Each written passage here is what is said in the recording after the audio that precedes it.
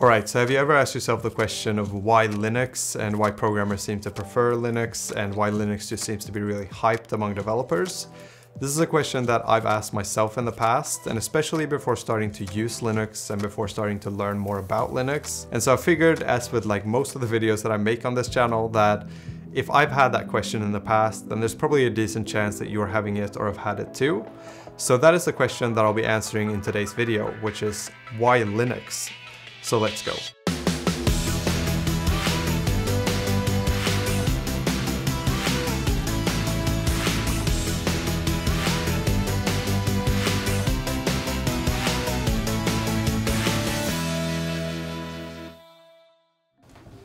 Oh, and if you're sitting there and you're thinking, where did he get that sick hoodie from? You can get yourself one at calstore.com. Okay, so what is it that actually makes Linux really popular among programmers? Well, the answer is that there's actually lots of things, but I'm gonna go through the major ones that I've found that are generally accepted among programmers as like what makes Linux really great. And from what I've found, there's about seven things that programmers in general appreciate about Linux. So let's go through them. The first one is security. This simply means that Linux tends to be a safer system, so you won't need antivirus software and viruses overall just aren't really an issue. So it's a really secure system and you won't get bothered by needing to find and pay for antivirus software and then update that software and get notified by it, etc. Linux just works and is safe. The reason that Linux is really secure is because of the fact that the Linux operating system is open source. This means that anyone who wants to can look at the source code for the system. And if you aren't familiar with this concept, then this may sound like it would be the opposite of safe, since anyone can find vulnerabilities and create viruses for it or exploit the vulnerabilities really easily. And that's not wrong, anyone can do that, and a lot of people do try to do this. But the thing is that Linux is a really popular operating system, and so that means that there's so many people reading through the source code every day and like looking for these vulnerabilities so that they can patch them themselves because of the fact that they are actually using the system themselves, so they don't want these vulnerabilities there, and so they try to fix them. And so what ends up happening is that there's actually very, very few of these vulnerabilities out there, and the ones that are out there become really, really hard to find because so many people are actually looking for them. And that also means that even if there are a few bad people out there looking for these flaws and trying to exploit them in a bad way, for every bad person that's out there trying to find these flaws, there's potentially like a thousand good people out there looking for the exact same flaw and trying to eliminate it. And so that kind of results in a really safe system. The second reason is that Linux can improve your programming workflow. The package manager in Linux is a godsend for programmers in terms of efficiency. If you want to install something or use something new, just type in sudo apt get install whatever you want to use, and then within a couple of seconds or a minute or two, you get it and you're ready to rock. This is something that can sometimes be painstakingly difficult in other operating systems. First of all, you need to install a package manager in macOS and Windows if you want to have a good reliable one, and just doing that can be a difficult task for a beginner. With Linux, that just comes pre-installed and you're ready to go, and it also has a lot of packages already installed and set up. Alright, so let's take a really simple example here that kind of illustrates both point number one about security and also point number two about ease of use and just workflow in general. So let's say that you wanted to install VLC Media Player on your Windows machine. What you'd have to do is you'd have to first open up a web browser of some kind, then you'd have to find or like Google search for VLC Media Player, find the right actual website to actually download it, go to that website, press the download link, start to download it, run the exe file, and then choose whatever like installation location. And then after you've done all of that, you potentially also need to restart your computer for these like changes to take effect or for you to be able to actually use the program. Now let's say that you wanted to do that exact same thing but in Linux. All you'd have to do is open up a terminal window and type in sudo apt get install VLC and hit enter and then you're done. The Windows approach leaves a lot of room for errors to occur. You could get to the wrong site and accidentally download malware, or you could get to the right site but accidentally press one of the thousands of download now buttons that is actually an ad for something completely different compared to Linux where you just type it in and it automatically does everything for you, making sure to get it from the right source so you won't accidentally get the wrong thing or malware. As a programmer, we usually work with lots of different technologies and we're installing things constantly to get things to work, so making the process of installing stuff as easy and safe as possible is really important, and Linux does this really well. Oh, and uh, while we're on the topic, this video is sponsored by Kite. Kite is a free auto-completion engine that uses machine learning to provide the completions, which is what makes it stand out, and also what makes it the best auto-completion engine that I've used. One of the most useful features is that Kite's completions are sorted or ranked by relevance instead of by popularity or by the alphabet, this is possible because they're using machine learning to provide the completions. It means that you will get suggested completions based on the code that you're actually writing. And if you're writing code in Python, the Copilot feature offers documentation lookup, so you don't have to constantly Google search function signatures and call patterns. With Kite, you can actually write code up to 18% faster, and who doesn't want to write code faster, right? So I highly recommend that you download Kite and try it out. It's completely free and supports up to 13 programming languages and 16 IDEs.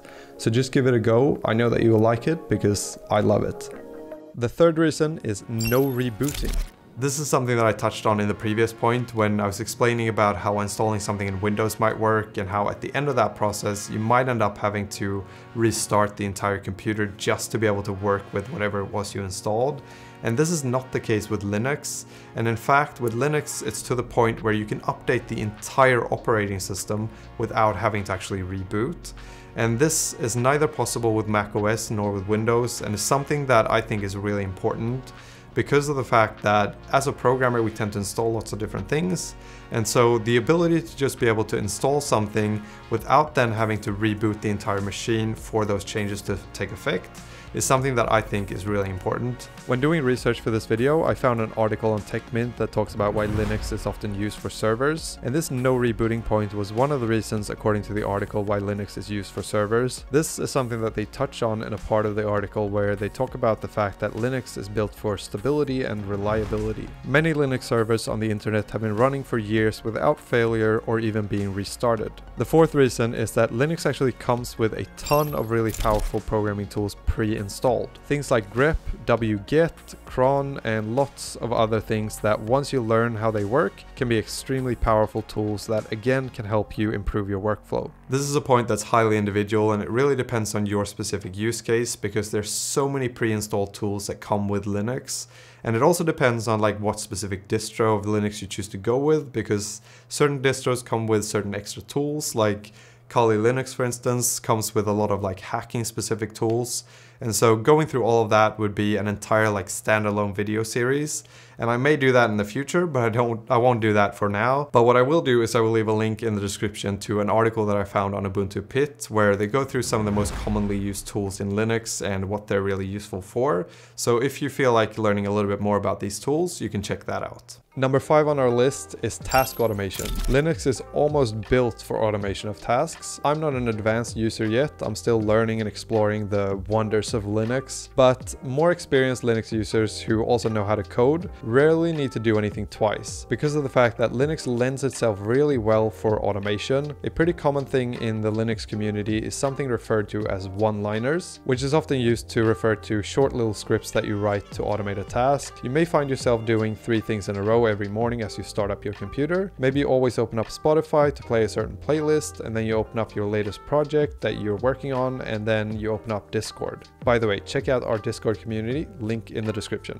With Linux, it's very easy to write a quick little script to automate all of these tasks with a simple cron job or something like that. There are lots of pre-installed tools like we talked about in our previous point that lend themselves really well to automation. The sixth point is performance. And no, Linux is not necessarily faster than any other operating system, but it is very lightweight for an OS and is compatible with pretty much any machine you can find. You can run Linux on almost anything. So this means that you can very often take an old laptop that is virtually useless because of being so slow and install Linux on that machine and all of a sudden breathe new life into that. A machine that was impossible to work with before is now all of a sudden working really well. There are more performance benefits of Linux, like the reliability of the systems and other things like that, but I feel like this is like the major one. Like being able to revive a dead computer is something that's really useful, I think, and it's also really like environmentally friendly because it means that your laptop running Linux will last you so much longer than one running macOS or Windows. Okay, so number seven is a bit of an odd one, but it is that Linux actually provides you with useful error messages. This may sound a little bit weird or whatever, but it is really important because with Windows and Mac OS, what you can often find yourself stuck with is an error message along the lines of like, oops, something went wrong. And it's not very useful because like Googling that and like finding the actual answer to that question is really difficult because lots of different other people have had that same error message for lots of different things. But with Linux instead, what you'll get is a full readout of the actual processes and you'll get like proper, you'll actually see what actually happened.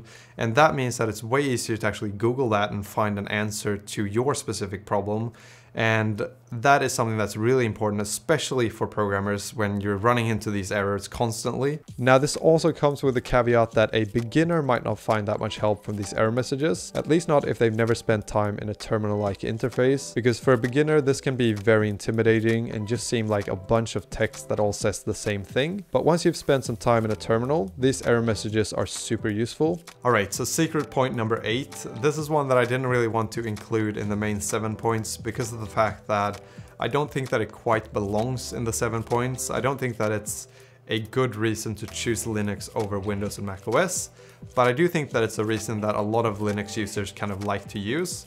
So I wanted to include it in the list anyway. And so point number eight is customization.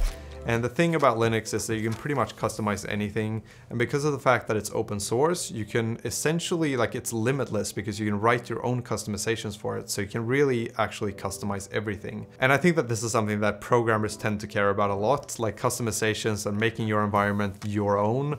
So I think that it's something that's really important to programmers. But like I said, I don't think that it's a reason to choose Linux over macOS or Windows. It's not an actual benefit, it's just like appearance benefits. I guess there could be like benefits of it where you set up the environment to be more productive for you because you can customize certain things. But overall, I don't think that it's a major point to why you should choose Linux over Windows and Mac OS. But yeah, it is a really interesting point. And once you start going down the rabbit hole that is like Linux customization, you'll quickly realize that you can spend an entire lifetime there. Alright, so in conclusion, there really aren't that many things that you can do on Linux that are impossible to do on other systems, especially if compared with macOS, but the overarching theme is ease of use. As a rule, it's easier to do what you want to do on Linux than it is to do on other operating systems. So, should you switch to Linux? The answer that I like to give here is that you should probably try out Linux first in a virtual machine, and then see what you think of it, and then you can kind of go from there because that's what I did. That's how I got started. I started out with a virtual machine and then after a while I just found myself spending more and more time there than I did in my main OS. And especially for like programming related tasks, that was just so much smoother to do in Linux than it was to do in my main OS at the time. And so that's kind of my advice. That's how I would go about it. And um, yeah, that's it for this one. I hope I was able to answer the question of why programmers tend to use Linux over other operating systems. And uh, yeah, that's it for this one. I hope you enjoyed it. I hope I'll see you in the next one.